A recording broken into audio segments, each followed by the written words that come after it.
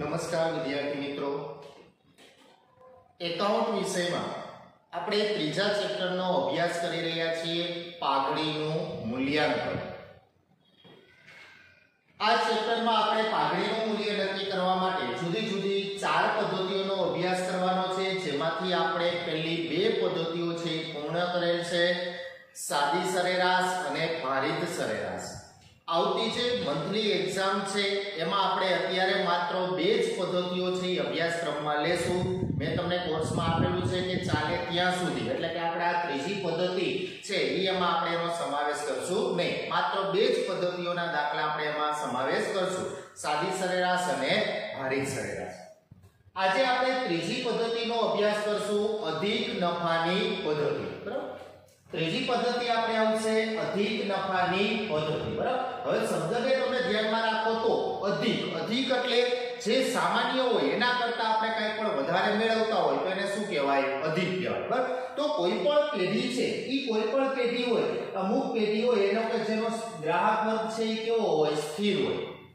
જેની બજારમાં શું હોય તો કે પ્રતિષ્ઠા હોય. તો આવી કોઈ પણ પેઢી છે એ સ્થિર ગ્રાહક વર્ગ કે પ્રતિષ્ઠાને કારણે અન્ય પેઢી કરતા વધુ નફો કમાઈ શકે. એ વધારાનો જે નફો છે, એ વધારાના નફાને શેના તરીકે ઓળખવામાં આવે છે. તો કે અધિક નફો, બરાબર? એટલે કે પોતાના સ્થિર ગ્રાહકો વર્ગ, બજારમાં એની પ્રતિષ્ઠા કે જેના કારણે કોઈ પણ પેઢી અન્ય પેઢી કરતા વધુ નફો કમાઈ શકતી હોય તો એ પેઢી નફો છે, એ કેવો નફો તરીકે ઓળખવામાં આવે?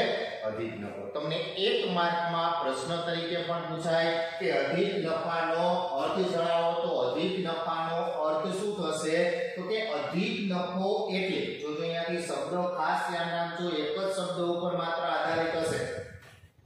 અધિક નફો એટલે પેઢીનો સરેરાશ નફાનો અપેક્ષિત નફા પરનો વધારો. તો જો અર્થ માત્ર આટલો જ છે, તો એનાથી જ આખું સ્પષ્ટ થઈ જાય કે અધિક નફો એટલે તો કે વધારે નફો તો કે જે પેઢીનો સરેરાશ નફો છે એટલે કે પેઢી છે દર વર્ષે નફો કમાતી હોય તે સરેરાશ નફા અપેક્ષિત નફા પરનો વધારો. એટલે કે પેઢીએ જે અપેક્ષિત અપેક્ષિત એટલે સામાન્ય તો અપેક્ષિત એટલે સામાન્ય કે લગભગ પેઢી આટલો નફો કમાશે. અપેક્ષિત નફા કરતા સરેરાશ નફો જેટલો વધારે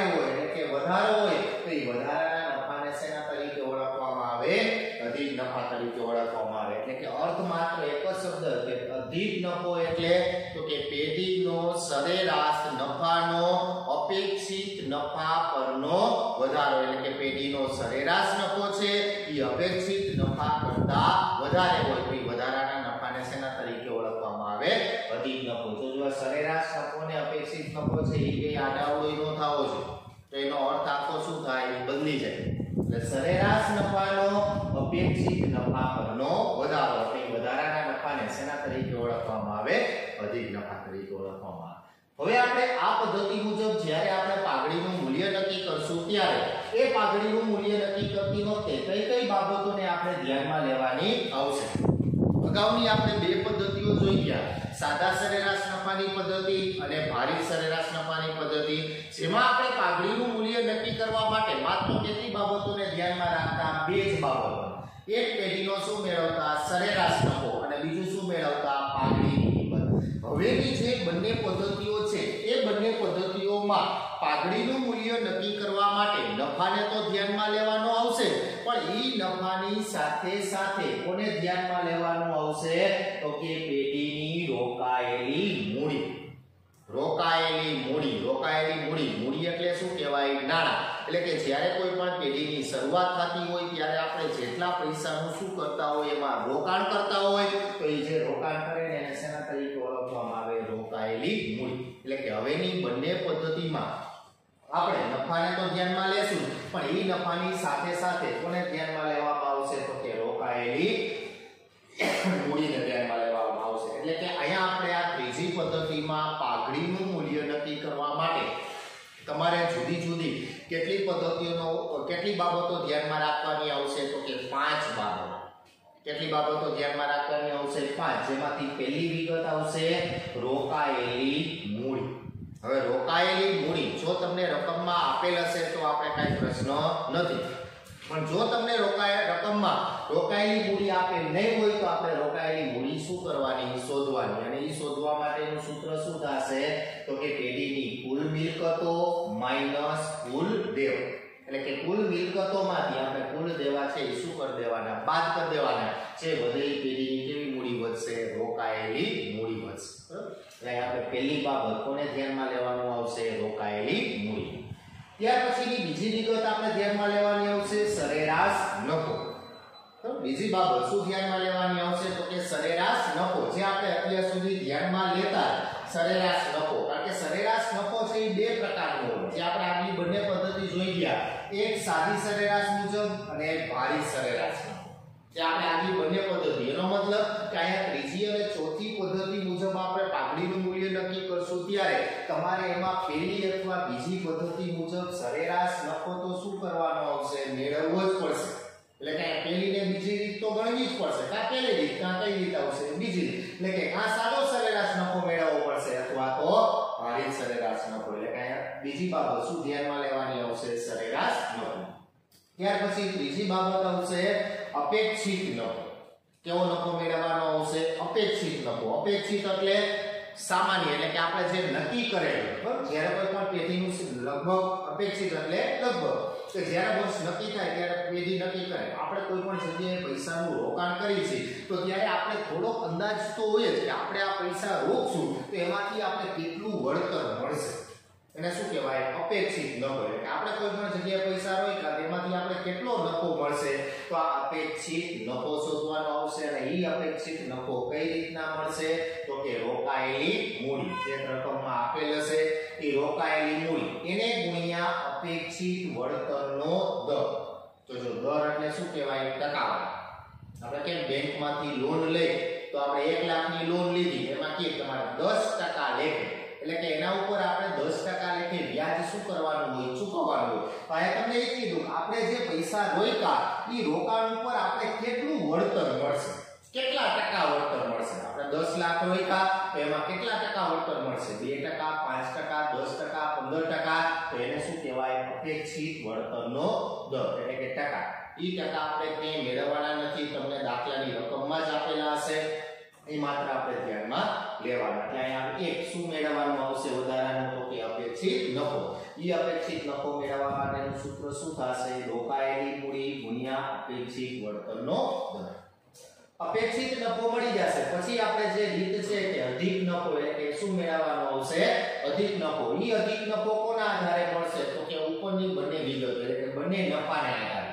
બરાબર? એટલે અપેક્ષ અધિક નફો બરાબર, તો કે સરેરાશ નફો માઇનસ અપેક્ષિત નફો. એટલે કે સરેરાશ નફામાંથી અપેક્ષિત નફો શું કરી દેવાનો? બાદ કરી જેટલો વધે ને એને શેના તરીકે ઓળખવામાં આવે અધિક નફો તો આપણો અર્થ ઈ જતો સરેરાશ નફાનો, તો સરેરાશ નફાનો અપેક્ષિત નફા પરનો વધારો. તો આ છે વધારો. સરેરાશ નફો, એમાં અપેક્ષિત નફો છે, એના કરતા સરેરાશ નફો જેટલો વધુ છે, એને શેના તરીકે ઓળખવામાં આવે. અધિક નફો. એટલે કે સરેરાશ નફો માઇનસ શું આવશે? અપેક્ષિત નફો. અને અધિક નફો મળી જશે, પછી એના આધારે કોની કિંમત મેળવવાની? આવશે પાઘડીની કિંમત જે આગલી બંને પદ્ધતિ મુજબ પાઘડી બરાબર.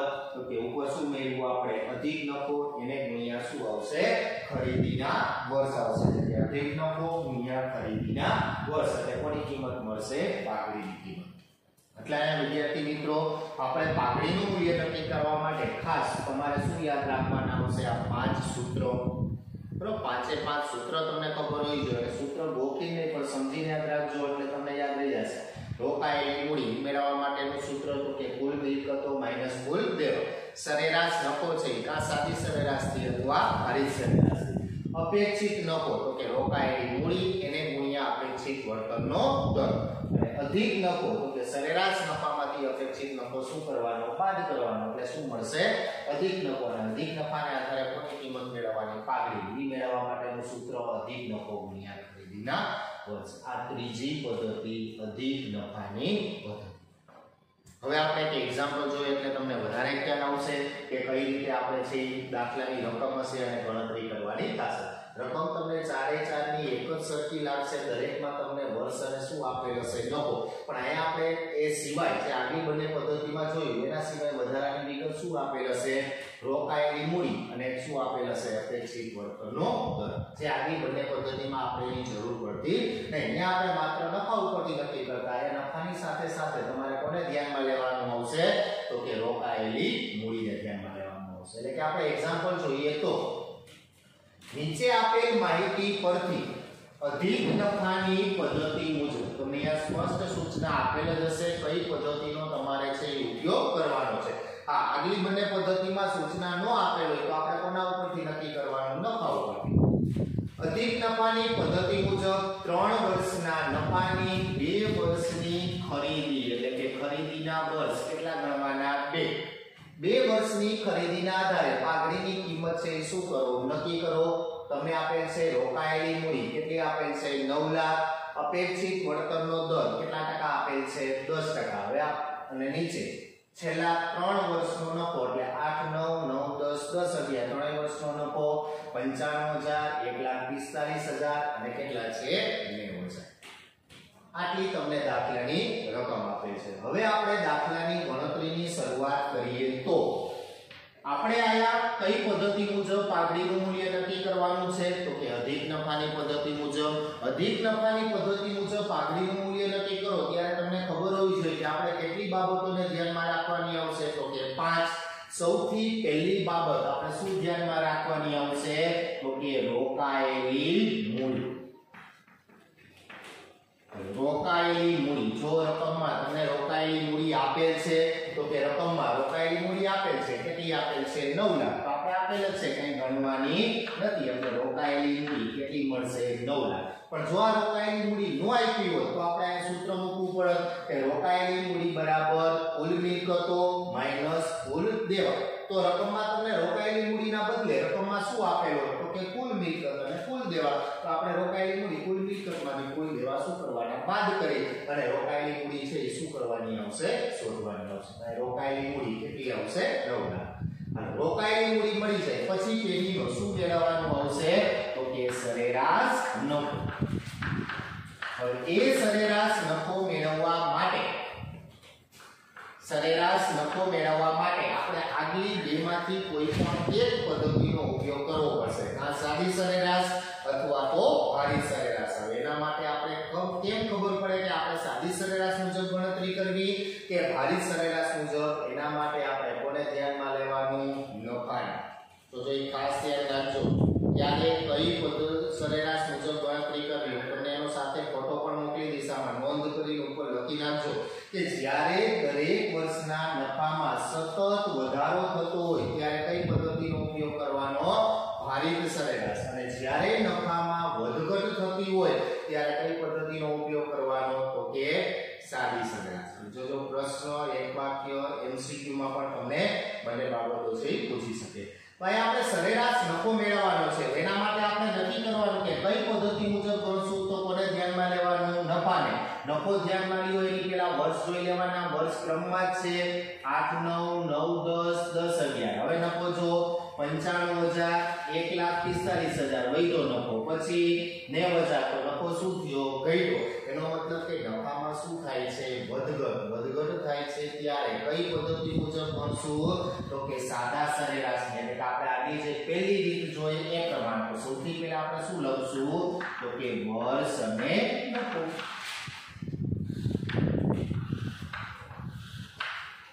વર્ષ. આપેલ છે, રકમમાં જે આપેલ છે, એ જ આપણે લખવાના છે બે હજાર આઠ નવ બે હજાર નવ દસ અને બે હજાર દસ અગિયાર. બે હજાર આઠ નવમાં કેટલા છે? તો કે પંચાણું હજાર નવ દસમાં એક લાખ પિસ્તાલીસ હજાર અને દસ અગિયારમાં નેવું હજાર. કઈ પદ્ધતિ મુજબ ગણવાનું? તો કે સાદા સરેરાશની સાદા સરેરાશ મુજબ મેળવો ત્યારે આપેલ નફાનો સીધો સુપર નાખવાનો સરવાળો. તો પંચાણું હજાર પ્લસ એક લાખ પિસ્તાલીસ હજાર. નેવું હજાર ત્રણેય વર્ષનો સરવાળો કરો એટલે કુલ નફો કેટલો થશે? ત્રણ લાખ ને ત્રીસ હજાર. હવે એના આધારે આપણે શું મેળવવાનો? કે સરેરાશ નફો. એ સરેરાશ નફો મેળવવા માટેનું સૂત્ર શું થશે? તો કે કુલ નફો છેદમાં કુલ વર્ષ. જે આપણે આગલી પદ્ધતિમાં જોઈ ગયા એ જ પ્રમાણે. હવે કુલ નફો તો આપણે મેળવો. લખવાનો સરવાળો. કુલ નફો કેટલો છે? ત્રણ લાખ ને ત્રીસ હજાર. છેદમાં કુલ વર્ષ. એટલે કેટલા વર્ષ છે? એક, બે અને ત્રણ. કરો કેલ્ક્યુલેટરમાં ત્રણ લાખ ત્રીસ હજાર ભાગ્યા ત્રણ. એટલે કેટલા આવશે? એક લાખ ને દસ હજાર. આ પેઢીનો શું મળ્યો આપણે તો કે સરેરાશ નફો? કેટલો મળ્યો? એક લાખ ને દસ હજાર રૂપિયા. શું મળ્યું? સરેરાશ નફો. હવે તો કે બીજી બાબત, શું મેળવું આપણે સરેરાશ નફો? આ પાછું પાઘડી મેળવવાની નથી. તો આપણે પેલી રીત મુજબ. અહીંયા આપણે જરૂર માત્ર કોની હતી? સરેરાશ નફો આપણે મેળવી લીધો. સરેરાશ નફો કેટલો આવશે? એક લાખ ને દસ હજાર. રોકાયેલી મૂડી મળી ગઈ, ત્યાર પછી સરેરાશ નફો ત્યાર પછીની ત્રીજી બાબત શું ધ્યાનમાં લેવાની? તો કે અપેક્ષિત નફો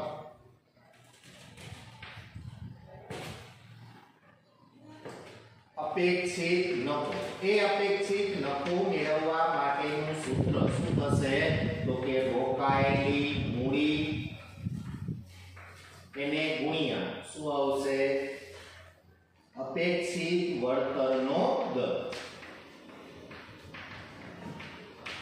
દર એટલે ખાસ રાખજો ટકા. હવે એની કિંમત મૂકો, રોકાયેલી મૂડી. તો રોકાયેલી મૂડી આપણે મેળવી લીધી. રોકાયેલી મૂડી કેટલી છે? નવ લાખ.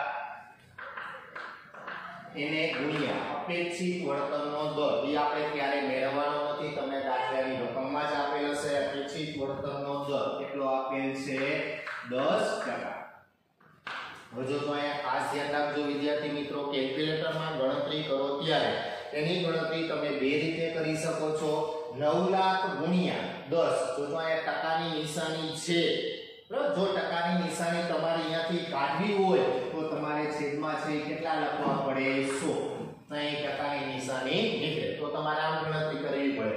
9 લાખ ગુણ્યા 10 ભાગ્યા 100 અથવા તમારે સીધું જેમ આપેલ છે એમ જ ગણી શકો કે 10 9 લાખ ગુણ્યા 10 ટકા એટલે તમે કેલ્ક્યુલેટરમાં ગણતરી કરો ત્યાં તમારા પાસે કેલ્ક્યુલેટર છે કે 9 લાખ ગુણ્યા, પછી 10 અને પછી તમને કેલ્ક્યુલેટરમાં ટકાની નિશાની આપેલ છે. સીધી શું દબાવવાની? ટકાની નિશાની. 9 લાખ ગુણ્યા 10 પછી ટકાની નિશાની. ગુણાકાર કરો, એટલે કેટલા આવશે? 90 આ શું મેળવ્યું આપણે? કે અપેક્ષિત નફો આ ત્રીજી બાબત, અપેક્ષિત નફો. અપેક્ષિત નફો મળી જાય, પછી કેવો નફો મેળવવાનો? અધિક નફો. એ અધિક નફો મેળવવા માટેનું સૂત્ર શું થશે? ઉપર જે બંને બાબતો મેળવી આપણે શું મેળવ્યું? તો કે સરેરાશ નફો માઇનસ અપેક્ષિત નફો. હવે એની કિંમત મૂકો, સરેરાશ નફો આપણે મેળવો, સરેરાશ નફો કેટલો મળ્યો એક લાખ ને દસ હજાર. માઇનસ અપેક્ષિત નફો, તો આપણે અપેક્ષિત નફો જોઈએ તો કેટલો મળ્યો નેવ હજાર. એક લાખ દસ હજાર માઇનસ નેવ હજાર. બાદ કરો એટલે અધિક નફો છે કેટલો આવશે? વીસ હજાર. પણ અધિક નફો છે કેટલો આવશે? વીસ હજાર. અને એ અધિક નફાને આધારે કોની કિંમત મેળવવાની આવશે? પાઘડીની કિંમત. અને એ પાઘડીની કિંમત મેળવવા માટેનું સૂત્ર થશે પાઘડી બરાબર. ઉપર જે મેળવું છે, શું મેળવું? અધિક નફો. એને ગુણ્યા શું આવશે? ખરીદીના વર્ષ હવે એની કિંમત મૂકો અધિક નફો આપણે મેળવો, કેટલો મેળવો? વીસ હજાર. એને ગુણ્યા ખરીદીના વર્ષ. તો ખરીદીના વર્ષ છે એ આપેલા છે રકમમાં. તો ખરીદીના વર્ષ કેટલા છે? બે. તો એને ગુણ્યા બે. કેટલા આવશે? ચાલીસ. પાકડીની કિંમત છે કેટલી આવશે? ચાલીસ. આયા દાખલાની ગણતરી છે સૌથી અઘરી અને જે ચારેય પદ્ધતિઓ છે ચારેય પદ્ધતિઓમાંથી સૌથી લાંબામાં લાંબી પદ્ધતિ આ કે જેમાં આપણે કેટલી બાબતો ધ્યાનમાં લેવાની આવશે? પાંચ બાબતો એટલે આપણે આ ત્રીજી પદ્ધતિ જોઈ અધિક નફાની પદ્ધતિ? હજી હું આના દાખલાઓ ગણાવીશ આ દાખલાઓ છે તે બુકમાં